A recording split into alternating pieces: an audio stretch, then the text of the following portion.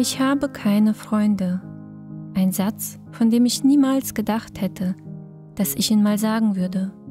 Schon gar nicht so ehrlich und offen anderen Menschen gegenüber. Die meiste Zeit meines Lebens waren Freunde ein großes Thema für mich, aber nicht deshalb, weil ich viele davon hatte oder meine gesamte Freizeit mit ihnen verbracht habe. Nein, Freunde waren deshalb ein großes Thema, weil ich schon immer ein Mensch war, der nur sehr wenige Freunde hatte und einige davon, wie ich irgendwann feststellen durfte, auch noch toxisch waren. Und dank meines Umfeldes und den sozialen Medien war ich irgendwann überzeugt davon, dass ich diejenige war, mit der etwas nicht stimmte. Zu schüchtern hieß es, zu langweilig, zu brav und manchmal sogar zu arrogant. Dieses Thema hat mich sehr lange beschäftigt und unglücklich gemacht. Obwohl es mir schon immer leicht fiel und auch gut tat, Zeit mit mir alleine zu verbringen oder mit einzelnen wenigen Menschen engeren Kontakt zu haben, hatte ich mich danach gesehnt, einer Gruppe anzugehören. Obwohl ich mich auf Geburtstagen oder anderen Veranstaltungen mit vielen Menschen nie besonders wohl gefühlt habe, dachte ich, dass es bestimmt toll wäre, wenn so viele Menschen wegen mir kommen würden. Denn, so habe ich geglaubt, es würde ja dann bedeuten, dass sie mich mögen, dass ich eine von ihnen bin. Und doch habe ich meine Geburtstage nie groß gefeiert, denn irgendwie hat es sich nicht stimmig angefühlt. Ich hatte unterbewusst immer eine ganz bestimmte Vorstellung von Freundschaft. Ein Freund oder eine Freundin waren für mich wie Familienmitglieder. Hier würden Geheimnisse nicht nach außen getragen werden.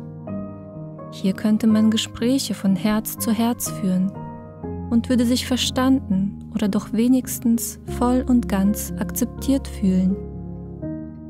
Eine echte Freundin würde niemals hinter deinem Rücken reden dich beleidigen oder vor anderen schlecht dastehen lassen.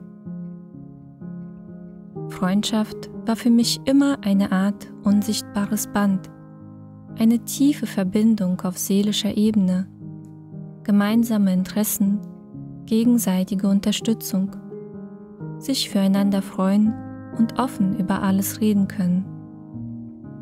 Das war wahre Freundschaft für mich die Realität sah jedoch anders aus. Ich hatte Freunde, die hinter meinem Rücken über mich, aber auch über andere sprachen, welche, die ständig mein Aussehen kritisierten und sich mit mir verglichen, und andere, die mich einfach nur als nette Ablenkung behandelten oder stets ihre ganze Negativität bei mir abgeladen haben. Nicht alle Freunde waren toxisch. Doch diese besondere Verbindung, von der ich sprach, hatte ich mit keinem. Ich fühlte natürlich, dass es das irgendwie nicht sein kann, dass da mehr sein muss, darf. Und doch hielt ich an diesen Verbindungen fest. Ich wollte wohl zu sehr Teil von etwas sein.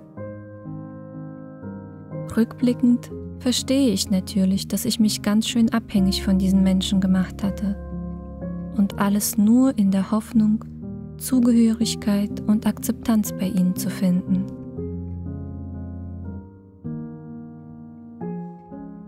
Jahrelang habe ich nach dieser Zugehörigkeit gestrebt, nach Anerkennung von Menschen, die mir größtenteils nicht gut taten, die andere Interessen und Vorstellungen vom Leben hatten als ich. Und mittendrin zwischen dem Versuch, ein möglichst zufriedenes Leben zu leben und bestmöglich am gesellschaftlichen Leben teilzuhaben, musste ich leider feststellen, dass ich mich selbst vollkommen verloren hatte. Ich wusste nicht mehr, was ich will, warum ich mein Leben so lebe, wie ich es lebe und wie es überhaupt weitergehen soll. einem Punkt hatte ich mich mehr und mehr zurückgezogen. Ich hatte das Gefühl, dass ich mich den Menschen, die ich meine Freunde nannte, mit dem, was in mir vorging, nicht anvertrauen konnte. Zumindest wollte ich es nicht, denn ich fühlte mich sehr verletzlich und ich wollte nicht, dass das nach außen getragen würde. Und alleine dieser Punkt zeigt mir heute, was für eine Art Freundschaften ich überwiegend hatte. Nämlich solche, in denen Loyalität und Vertrauen keinen hohen Stellenwert hatten.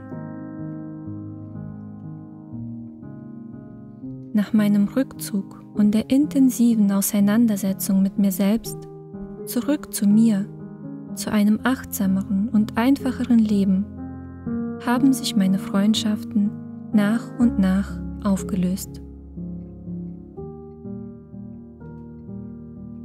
Ich habe mich verändert und mit mir meine Beziehungen. Es hat viele Umbrüche in meinem Leben gegeben. Ich bin in eine andere Stadt gezogen, bin in der Welt herumgereist, wurde auf meinem Weg zu meinem Seelenpartner geführt und verstehe jetzt mehr denn je, wer ich bin was mich ausmacht, was und wer mir gut tut und wer nicht. Und vor allem traue ich mich mehr denn je oder vielleicht sogar zum ersten Mal in meinem Erwachsenenleben, ich selbst zu sein.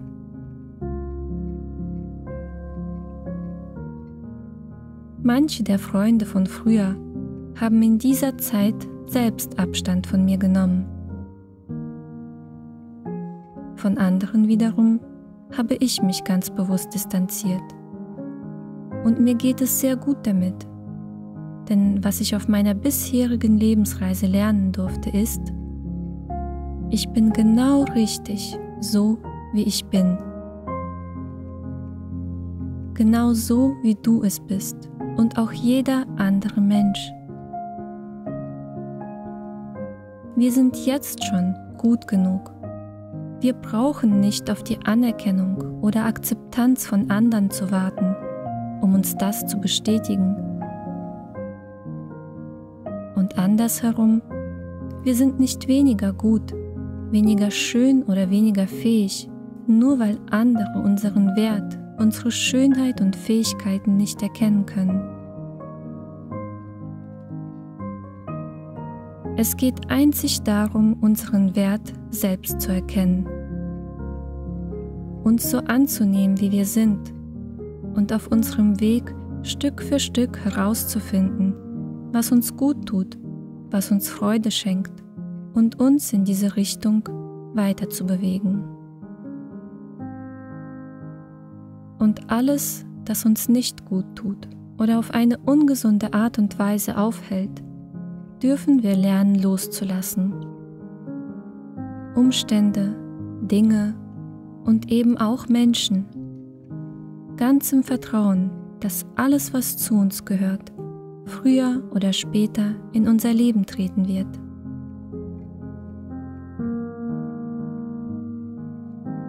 Ich habe keine Freunde. Und ich fühle mich mit dieser Tatsache ruhiger und entspannter denn je. Denn auf meinem Weg der Veränderung habe ich zwar viele Menschen, Freunde losgelassen, andere Beziehungen dafür dazugewonnen. Ich habe nun meinen Seelenpartner an meiner Seite. Meine Beziehungen zu Familienmitgliedern haben sich intensiviert und weiterentwickelt. Ich durfte wundervolle Menschen kennenlernen, sowohl persönlich als auch online. Und ich begegne nach und nach immer mehr Gleichgesinnten, mit denen ich mich über Themen austauschen kann, die mich wirklich interessieren und voranbringen. Ein großer Teil davon seid ihr, meine liebe YouTube-Community. Und dafür bin ich sehr dankbar. All diese Veränderungen in meinem Leben waren und sind nur möglich, weil ich mich dazu entschieden habe, zu mir selbst zu stehen. meinen eigenen Weg zu gehen und mich zu zeigen, so wie ich bin. Ich wünsche dir, dass auch du deinen Wert erkennst und mutig deinem eigenen Weg folgst. Alles Liebe für dich und bis zum nächsten Mal.